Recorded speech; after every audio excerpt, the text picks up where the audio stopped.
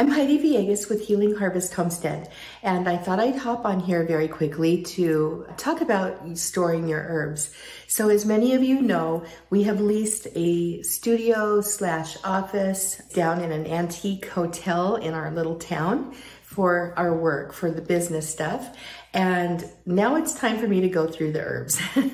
so I have got so many herbs in my herb cupboard here in my house. Uh, and I've got uh, herbal preparations as well, tinctures and salves and, and all the things. So what I'm going to be doing, deciding basically which herbs I'm going to take down to the my office area uh, where I will be working with clients occasionally and which herbs I want to leave here. And I'm also going to be determining which herbs are going to go in the compost pile. So come join me in my herb room and we'll go ahead and take a look at what's going on here. So here we go. Here we keep this room very dark all the time. My herb area right here, which is quite not organized right now. So I'm really looking forward to getting it organized in the future down in the the new office space. And here in our home, it's going to become just this little capsule of what Joe and I need in our own home apothecary.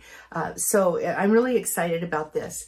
So what I've got here, besides all the food storage that's over here and over here, these are two shelves that are full of dried herbs. Okay, so they're they're floor to ceiling, pretty much different dried herbs. These I have organized uh, A through Z. So over on this shelf, and I've got I've got about four rows of tinctures that I've created over the years from the herbs, and you can't see them all because this tripod isn't bending down very easily for me. But I've got these organized based on their body system uses and other use. I've got my, or, and even like actions, like astringency and, and things like that. That's how I've got these organized. These herbs are probably going to end up down at the, the shop with the exception of ones that I want to keep here for sure, like my hawthorn tincture and things like that. But I'm most likely going to split a lot of these take half down there and leave half here. And that's going to create more room here in, in our storage room area. So one of the things I want to talk with you about very quickly, and this is going to apply whether you're an herbalist uh, working with clients or teaching like me, or whether you are a home herbalist or a community herbalist, and that is you only want to work with quality herbs. The, the quality of the herbs you work with are completely going to determine how beneficial your herbal preparations are. So I always get asked this question, hey, is it okay to store my herbs in the bags? Okay, like this mylar bag. And I'm going to tell you that it's going to depend on a couple of things. It's going to depend on the kind of mylar bag it is. This is a black bag which keeps out all the light. Um, this is from Foster Farms Botanicals. I highly recommend them. I'm not an affiliate, but they are excellent. And if it's unopened, then I say yes, you can definitely store your herbs in a bag. Now, some of my herbs I have opened already, and they are still stored in a bag. This I just bought recently, and this is one of the things I'm meaning to do is get these into glass jars. I also like to make sure I put the date on them. Roots and seeds and berries, the harder um, herbal herbs tend to last longer. But here's another little mistake I want to show you. So you could actually store your, your roots for three to four years, maybe even five years if it's stored correctly. But I want to you to see this. See all this headspace here? This is not good because there's air in here and air is bad for your dried herbs. It oxidizes the herbs. So this is not a, a great situation here and I've been aware of it for a long time. I've just been super busy and haven't been able to get to it.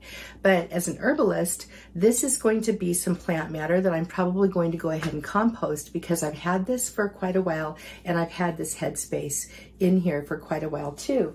So that is probably going to go to the compost area. Herbs that have been in bags for a long time, we're probably going to compost them. Let's take a look at the, the quality of the, the, the herb here too. So this these are both uh, golden rods that I harvested, uh, foraged last summer. And so they're relatively fresh. This is an amazing plant and I love uh, making sure that I have enough of this going into allergy season or it's, it's super helpful for urinary tract infections. But this one right here is that's well packed into the jar. It's completely fresh, harvested here. It says August of 2022. It's amazing. And this is definitely gonna stay on my shelf. This one right here was harvested at the same time. I had some leftover, so I just put it into a gallon bag. And this, I'm actually going to get into a tincture immediately because I don't wanna waste the herb. This is perfectly good goldenrod still. I can can tell by the quality of it. The, the leaves are still bright, vibrant green. I didn't get a whole lot of fluff when I harvested the flowers, so that's one of the things you want to think about with your goldenrod. So this is actually what I'm going to get processed right away. Let's look at another herb here that I've got. So this is red clover. This was also harvested from my yard last summer. Look how beautiful it still is. It's purple. It's just lovely. And I, I love this plant so much. It's really helpful for women. And then I've got some red clover that I purchased from a local herbalist about two years ago. Uh, look at the difference. Okay this is where when you start working with plants over a period of time and you start looking at your own collection of herbs as an herbalist, you're going to be able to determine very quickly whether you've got quality or not. And I have got so many, I've got hundreds of herbs in here. So I'll be composting uh, quite a lot of them and I'll be processing quite a lot of them and um, splitting quite a lot of them and just going through this herb cupboard storage of ours. I'm hoping to be done within a couple of weeks, maybe the next three weeks or so, because I want to take my time and experience my plants and make good choices and not waste what I don't need to waste and make sure that I get the right things composted and the right things uh, determined whether it's going to go into an herbal tea blend or maybe just stay just like this or be tinctured or put into an infused oil. So I'm going to be making all those decisions. Same with my tinctures over there. I'll be making decisions about which are being split, which are being bottled up into smaller bottles, potentially for sale, maybe, which are going to um, be cast away into the compost. All right. Oh, that's another thing too. I get questions about, it's cold in here. this, are, this is a cold storage room. So one of the things I always get asked about too is the shelf life of your herbal preparations. Since I'm getting ready to go through mine right now, and that includes my infused oils, my tinctures, everything, I just want to talk very quickly about, or just share real quickly about what I'm thinking about when I I go through those. So for my tinctures, they last indefinitely. I'm likely just to leave them just as they are, or if I want to take some down to the, the office and leave some here, I'll do that. Otherwise, they're just going to stay the, the, way they are because they last forever. They, they they'll, they'll be they'll be good long after I'm gone.